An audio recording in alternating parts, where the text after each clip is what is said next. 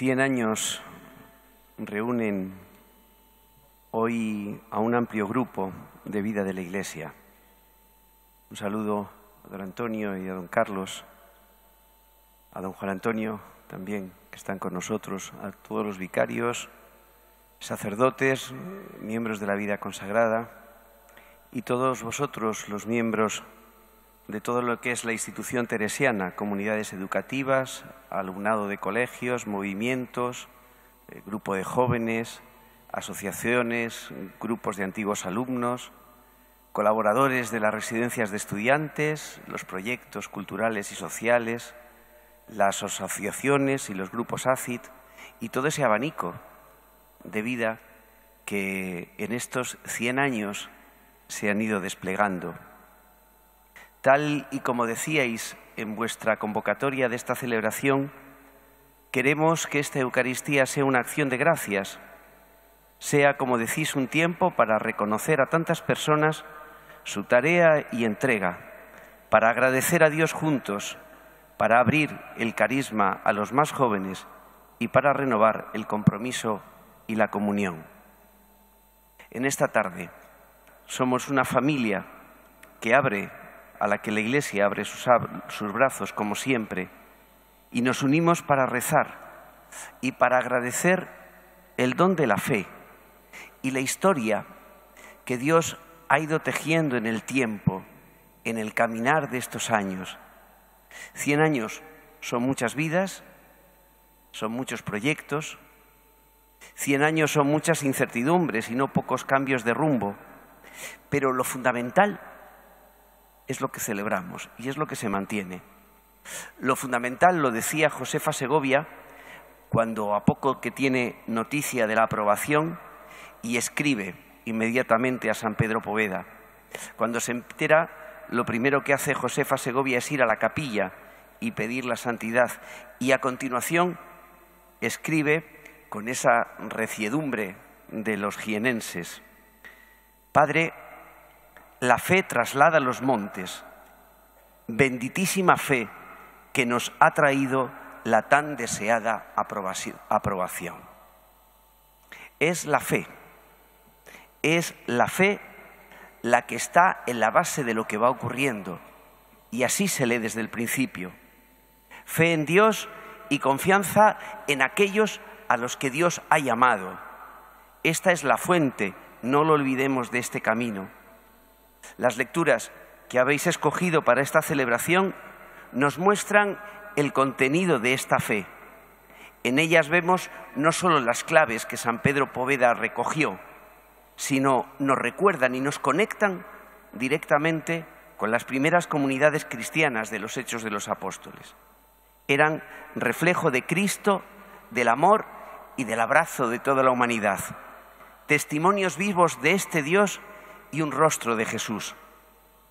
En medio de este mundo, las primeras comunidades eran distintas, eran significativas, eso se palpaba, porque desplegaban ilusión, esperanza para todos y porque se querían. Y eso atraía a todos los que la contemplaban.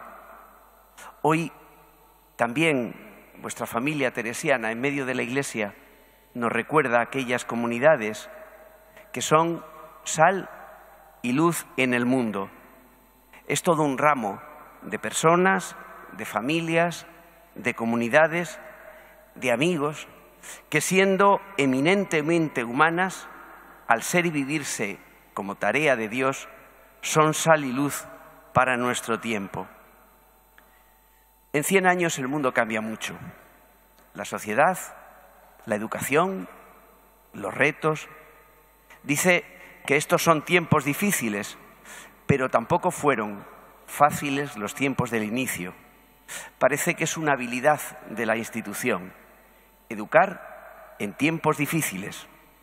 En distintos lugares del mundo siempre encontramos educadores que sienten el impulso de Pedro Poveda enfrentándose a situaciones complicadas y afrontándolas de frente. Educar en tiempos difíciles es también el nombre de vuestra experiencia en un esfuerzo colectivo de proyectos, centros educativos y otras iniciativas promovidas por la institución teresiana en América Latina. Efectivamente, la institución nace en tiempos difíciles y en tiempos de martirio y se hace responsable de la complejidad de cada momento. Esta es la luz que también recogemos hoy, el afrontar cada día desde la luz y desde el sabor de Cristo. Por eso la Iglesia y el mundo hoy sigue necesitando vuestra experiencia, una experiencia que parte de la fe. Cambian los tiempos, pero no cambia la fe ni la vocación recibida, que es el origen. Es la vocación, la llamada desde el origen, la que da alma a cada educador y a cada educadora, el eje para afrontar la marcha de la institución. Por eso las propuestas de formación de tantos educadores y educadoras han sido tan fecundas, porque nos centramos en la vocación. Dadme una vocación, decía Pedro Poveda, y yo os devolveré una escuela, un método y una pedagogía. Son palabras clásicas, pero revelan la fuente continua de estos años y nos viene a dar gracias a Dios por eso. Porque si empezamos por la vocación, al primero que le tenemos que dar gracias es a Dios, porque esta es una obra de Dios. Él es el primer responsable que ha ido llamando y poniendo todo este abanico de personas que han sabido responder en fidelidad y en fe a su llamada. La vocación es el primer paso. Necesitamos vuestra vocación. Pero en tiempos de oscuridad y de falta de sabor como estas, dicen que estamos en la sociedad de las tres P's, de la polarización, del populismo y de la posverdad, por simplificar un poco. Pero en esta oscuridad lo que sí sabemos es que nuestro mundo necesita la sal y la luz de Jesucristo. Jesús nos llama hoy a ser sal y luz y nos llama así a su iglesia, no como si fuésemos sal y luz, sino nos mira adelante y dice, vosotros sois la sal y la luz del mundo. Alumbre, y es la llamada, alumbre así vuestra luz a los hombres para que vean vuestras buenas obras y den gloria a nuestro Padre que está en el cielo.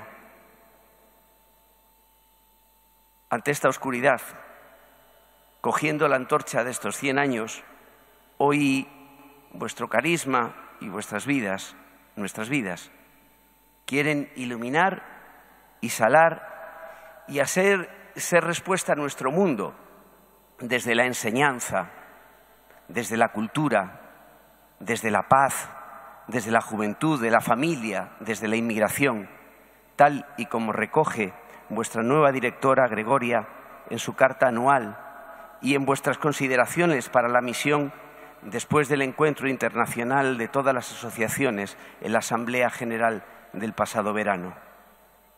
Luz y sal, y esa es vuestra antorcha, que el mundo necesita. Ante la polarización, vosotros podéis ofrecer la luz y la sal desde la educación, en vuestra experiencia de comunidad y de vida laical, esa que habéis ahondado estos años. Sois expertos y expertas en vida laical y en la comunidad como don.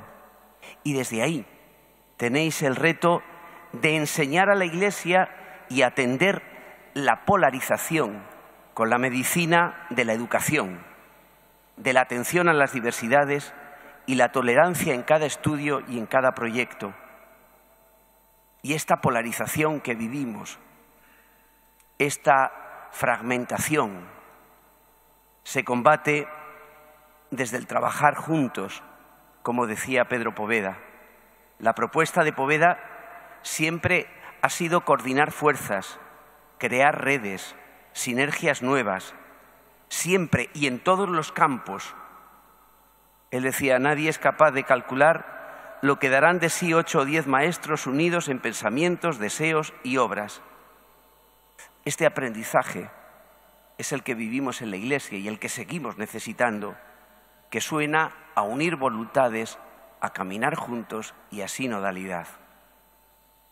Ante La segunda P de los populismos que ahora mismo ciegan y nos nublan, ayudáis también a responder por medio de la luz de la educación transformadora, esa que late en vocación desde el principio, ante los nubes, las nubes de los extremismos, sabéis y proponéis ese camino educativo de integrar todas las dimensiones de la persona. No se ofrece cualquier educación, sino una educación que saca lo mejor de cada persona y que la integra. Esa es una luz que necesitamos. Y ante este mundo de posverdad, la mejor arma que podemos aportar y que podéis aportar con la Iglesia es la fe en Jesucristo que da la dignidad al ser humano y que es sal y luz de nuestro mundo. La humanización brota de la fe y nos hace reconocer a los pueblos, a las personas y a las culturas en un proyecto humanista que se ha difundido por toda la tierra. Tenéis posibilidades de combatir la oscuridad del mundo. Y no quisiera terminar sin pediros también, después de estos 100 años, también solo tres cosas que también necesitamos en la Iglesia de vuestra experiencia y vuestro recorrido. No dejéis de ahondar en esta experiencia educadora nueva y en creer en la educación como la que transforma el mundo. No dejéis de recordarlo en la Iglesia y de hacerlo desde la vocación recibida en Jesucristo. Y no dejéis de apoyar y renovar y descubrir el rostro femenino de esta Iglesia y del papel de la mujer en ella. La propuesta de Pedro Poveda incluyó desde el principio un gran trabajo sobre la promoción de las mujeres. Este tesón no queremos dejar de acogerlo en la Iglesia como reto y tarea que aún no está completada. Seguid apoyando y seguid ayudándonos a crecer. Y termino pidiendo para la Iglesia de vuestra historia la sabiduría que os dan los más pobres como lugar y fuente de humanidad.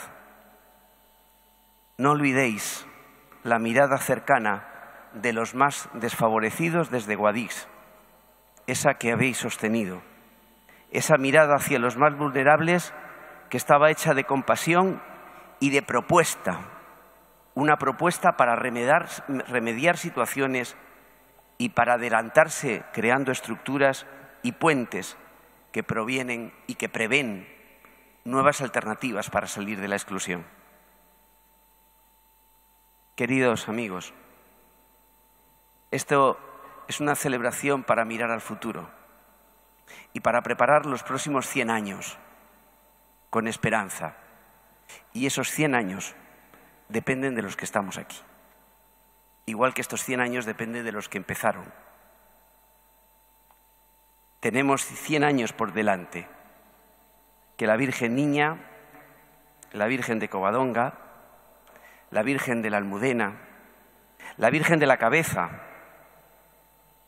que María nos siga llevando siempre a Dios y siga siendo ese Dios nuestra esperanza, nuestra roca, para transformar nuestro mundo desde el sueño del Evangelio y desde aquella feliz llamada que un día puso en el corazón de San Pedro Poveda hasta aquí y abriéndonos a un nuevo futuro.